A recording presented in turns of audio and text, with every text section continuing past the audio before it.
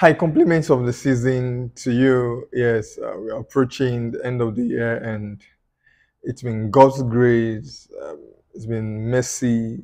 God has shown us so much grace, and everyone who has stayed with us from when we started till where we are right now. Thank you so very much for trusting us, supporting us, believing in us. Thank you so so very much for our esteemed subscribers. Thank you, our beautiful clients. Thank you, prospective clients. You know yourself, you are still doubting what's this boy doing? Should I consult him? I think uh, our result should speak louder. Very quickly, this um, afternoon, I want to give uh, a basic uh, tip, and this tip uh, is the basic materials and activities uh, for a bungalow project from foundation to DPC. Yeah, the basic materials and activities that you need to execute the bungalow project from foundation to the DPC stage. The first thing you have to have is your land. The 100 by 100, a 50 by 100. I'm using Benin, Edo State, as a case study. That's how the lands are measured. But if you go to Lagos, you have 300 square meter, 600 square meter, 500 square meter, and the rest of others. But using Edo State as a case study, 50 by 100, yes, on a 50 by 100, you can actually build a very beautiful four bedroom bungalow standard. Four bedroom bungalow. You can also build five bedroom bungalow standard. And if you want to go on a duplex, that's enough for another video. But I'm just saying that uh, all you need, the first thing, um, basic materials and activities to executing a bungalow project from foundation to DPC, The first thing is your land. Number two, your architectural design.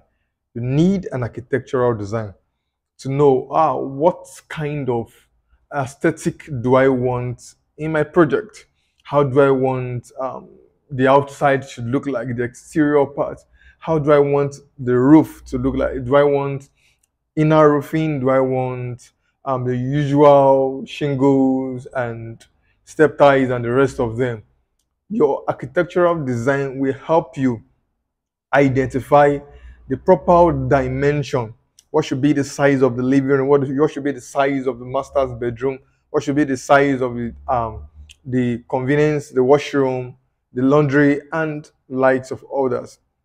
Number three, start molding your blocks. So depending on um, the kind of house you want to build, you get a point. Um, you can just peg your budget at 3,000 blocks, depending on the nature of what you want to build. But you can peg your mind at 3,000 blocks. Um, the next is get sharp sand. Materials you need yes, get sharp sand. Also, you need a granite. Yeah, you need a granite on your sides. The granite, as we proceed, I will tell you when we get to the aspect of activities, I will tell you what you actually need the granite for. So you need a granite on your side. So you can equally get uh, probably a 15 ton. You can get a 15 ton on your site to start with.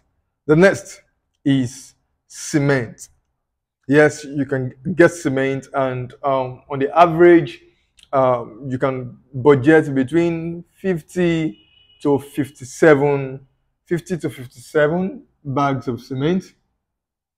You can budget within 50 to 57 bags of cement, depending on your project. As some projects will use 53, some will use 55. You get a point, depending on the size of your project.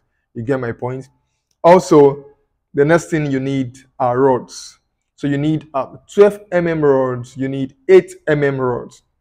The numbers of rods you need is a factor of the kind of structure you want to erect, number one.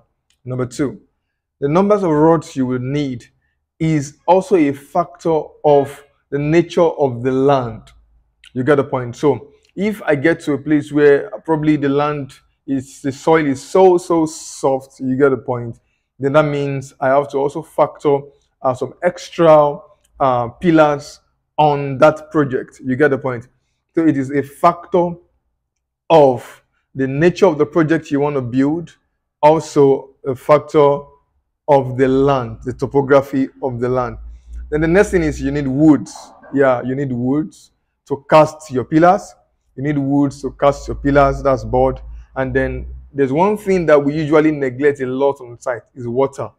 Please make provision for water. We neglect this one a lot. And at the end of the day, you realize the fact that your cement, your sand, your granite cannot work without that water. Make proper arrangement for your water.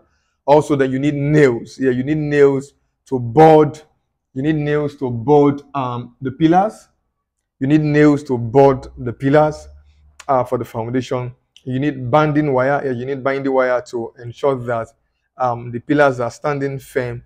And um, the last materials you need is um, the pegging materials to start your project fully, the pegging materials. So what are the activities that will be happening on the site? The first is when we get to the site, yes, we clear, we clear the site and see, okay, fine, um, the site is free from storms.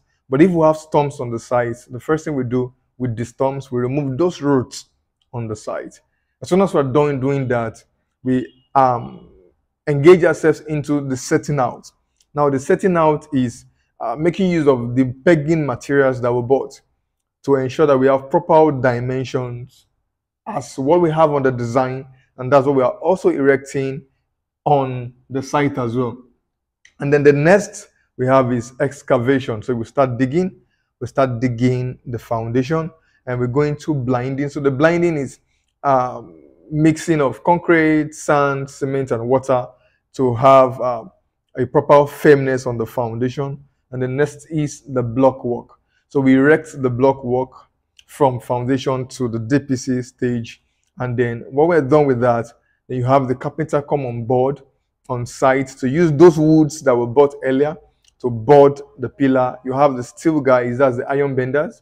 The steel guys come, tie the rods on the site as well to ensure that we have the rods right in the board or the woods that have been um, actually boarded by the carpenter and then we cast the pillar. With these activities, trust me, your building project is already a success. But guess what?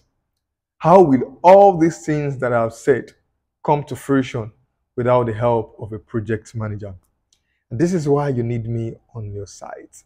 Trust me, all these things that I've listed can be achieved within the space of two, three days with effective project management. And this is what the Olenovix solution is presenting to you. Trust us with your project, and for sure, we will deliver your project for you. Our contact is open 070 Thank you so, so very much for your support. If you're yet to subscribe to our YouTube channel, if you're meeting us for the very first time, kindly hit the subscribe button right about now to enjoy the beautiful things that we're presenting to you. My name is Siriman Victor Oliseh. Compliment of the season to you.